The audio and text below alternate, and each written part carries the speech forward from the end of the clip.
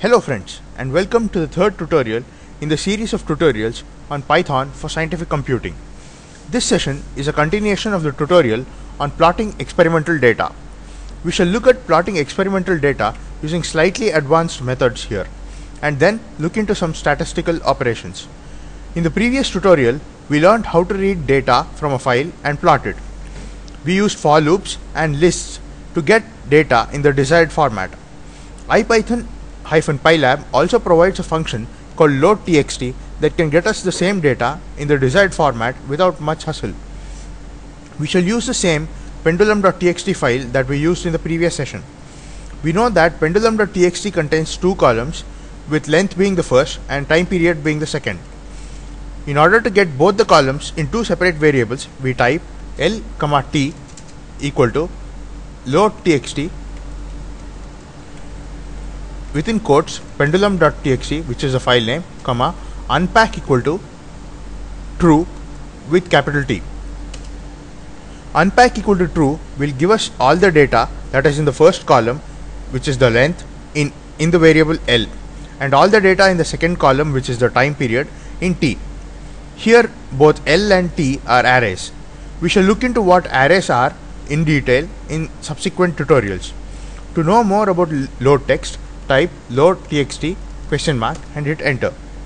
This is a really powerful tool to load data directly from files which are well structured and formatted. It supports many features like getting selected co columns only or skipping rows. Let's now get back to the problem. Hit Q to exit.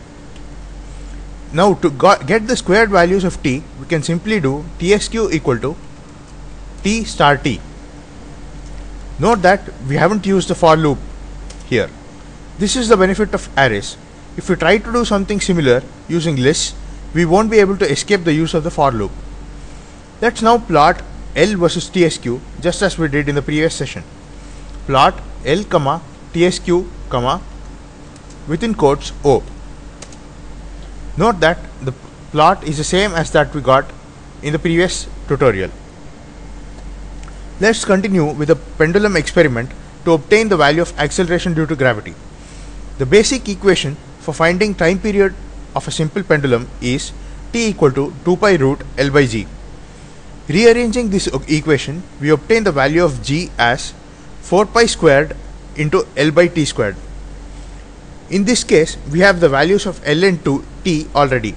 So, to find the value of g for each element, we can simply use t, g equal to 4 star pi star pi star L by t squared. G here is an array. We can take average of all these values to get the acceleration due to gravity by typing print mean of G.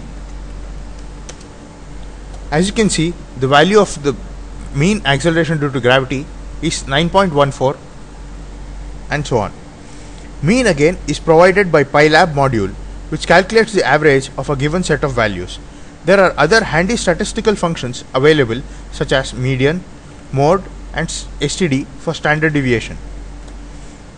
In this small session, we have covered a better way of loading data from text files and we have learnt why arrays are a better choice than lists in some cases and how they are more powerful with mathematical operations. Hope it was useful to you. Thank you.